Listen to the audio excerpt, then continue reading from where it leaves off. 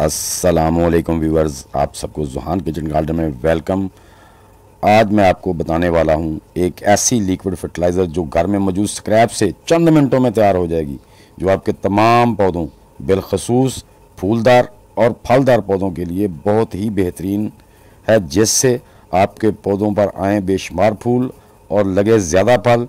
उसके दो तरीके मैं आपके साथ शेयर करूँगा। वीडियो को एंड तक देखिए। तो दोस्तों, प्रासे शुरू करते हैं। बिस्मिल्लाहिर्रहमानिर्रहीम। तो जी दोस्तों, आपने सिर्फ़ अगर आपके घर में मौजूद हैं तो चार केले के छिलके लेने हैं। अगर मौजूद नहीं है तो आपके इर्द गिर्द कोई भी फ्रूट चाट की दुकान है, आप उससे भी ला सकते हैं बड़े इजीली तो इन चार छिलकों को आपने मिक्सिंग जार में डालना है, उसके बाद उसमें एक लीटर पानी डालना है। मशीन को आधे मिनट के लिए चलाना है। आधे मिनट के नहीं तो पैंतालीस घंटे के लिए चला दें। तो एक आपका लिक्विड फर्टिलाइज़र जनाब तैयार हो गया। अब दोस्तों, जग में से निकाल के आप इसी किसी बर्तन में डाल लें।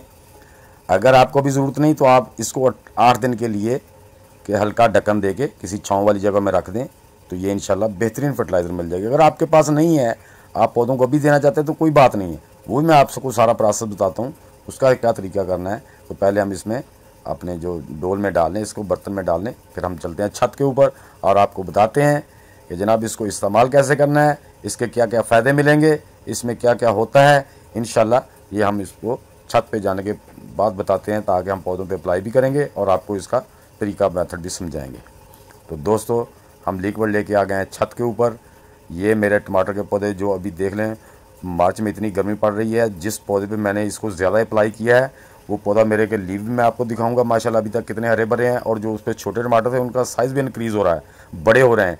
इसके आठ दिन बाद मैं फिर आप, आपको दिखाऊँगा कि उसके टमाटरों को जो फर्टिलाइज़र दिया था, उसके बाद फिर उसके टमाटर जो दोबारा जो मैं देने वाला हूँ, उसके, आप देखेंगे कि और ज़्यादा इंक्रीज़ हुए हैं। तो दोस्तों, करना आपने क्या है कि डोल में से इसमें पहले हल्की सी गोडी कर लेनी है। मिट्टी को थोड़ा नरम कर लेना है।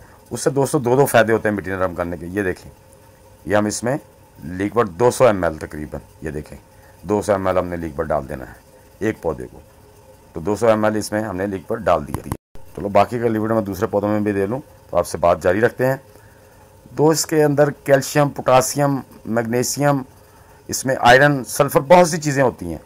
और इस पर मैं एक मुकम्मल आपको, एक वीडियो बनाऊँगा और इसके कितने तरीक़ों से आप इस्तेमाल कर सकते हैं इसकी फर्टिलाइज़र वो भी मैं आपको बताऊँगा। तो जब हमारे पौधे जो है ना, वो फ्रूट पे आते हैं तो तब हमारे पौधों के लिए जो कैल्शियम और पोटाशियम है ना, पोटाशियम बहुत ज़रूरी है, जो हमारे फ्रूट का साइज़ बड़ा करता है और फ्रूट के उसके रूट्स को मज़बूत करता है, इसमें वो सारे न्यूट्रंस मौजूद होते हैं।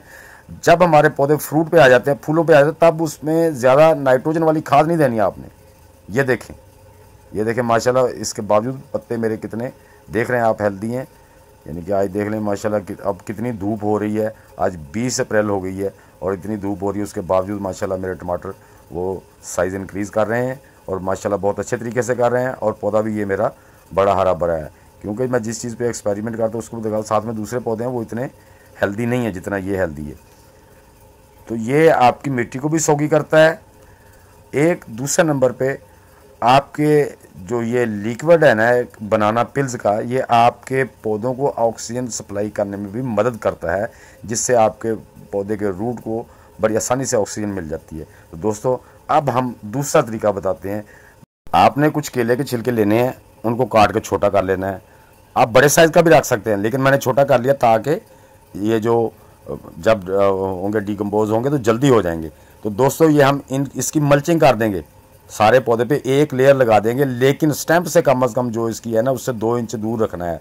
उससे डेढ़, दो इंच दूर तक फैलाने, उसके साथ नहीं लगाने पौधे, वरना आपकी स्टैंप ख़राब हो जाएगी। तो आपने उस, बाकी पूरे गमले में बिछा दें, लेकिन जो पौधे की स्टैंप है ना, उससे आपने डेढ़ से दो इंच दूर डालने तो हम पूरे पौधे के यानी कि इसके हमारे ग्रो बैग के अंदर इसकी एक सिंगल लेयर लगानी है डबल नहीं करनी। सिंगल लेयर लगा देनी है। तो जनाब जब ये हमारे छिलके डिकम्पोज होंगे एक तो ये धूप से आ, हमारे जो गमले की मिट्टी है उसके अंदर धूप नहीं ज़्यादा जाने देंगे मल्चिंग का काम करेंगे। दूसरे नंबर पे ये हमारी नमी को बरकरार रखेंगे। तीसरे नंबर पे जैसे ही ये गलते जाएँगे डिकम्पोज होते जाएँगे ये बहुत सारे न्यूट्रन जो है ना वो हमारे पौधे की मिट्टी में छोड़ जाएँगे जो हमारा पौधा लेता रहेगा। और इसमें एक ख़ास किस्म के एक्सीडेंट होते हैं प्रॉपर्टीज़ होती हैं जो हमारे पौधे को बीमारियों से भी हिफाजत करती हैं। वो इंशाल्लाह इसकी मैं केले पे, छिलकों पे तफसील से वीडियो बनाऊँगा, जिसमें पूरी इन्फॉर्मेशन दूँगा। तो ये तरीका भी आप इख्तियार करके ये मल्चिंग भी हो गई और ये जो हमारा जितना जैसे ये डिकम्पोज होगी तो हमारे पौधे को उसके न्यूट्रन मिलते रहेंगे और इससे फ्रूट ज़्यादा आता है। तो दोस्तों, मेरे तजर्बे में जो है, इस केले के छिलके में बहुत सी चीज़ें मौजूद होती हैं, बहुत से न्यूट्रन बहुत सी चीज़ें प्रॉपर्टीज़ मौजूद होती हैं जो हमारे पौधे की फ्रूट की ग्रोथ के लिए बहुत अच्छा काम करती हैं। अगर हम फ्रूट या फ्लावर पे आए हुए फूलों को, पौधों को, अगर हम एन पी के वो देते रहेंगे जिसमें नाइट्रोजन ज़्यादा है तो हमारे पौधे पे ना फूल ज़्यादा आएँगे और फल बनेगा तो वो इंक्रीज़ नहीं होगा। क्योंकि उसके, उसमें नाइट्रोजन नाइट्रोजन पौधे को हेल्दी करेगी, पत्तों को हेल्दी करेगी फ्रूट नहीं आएगा।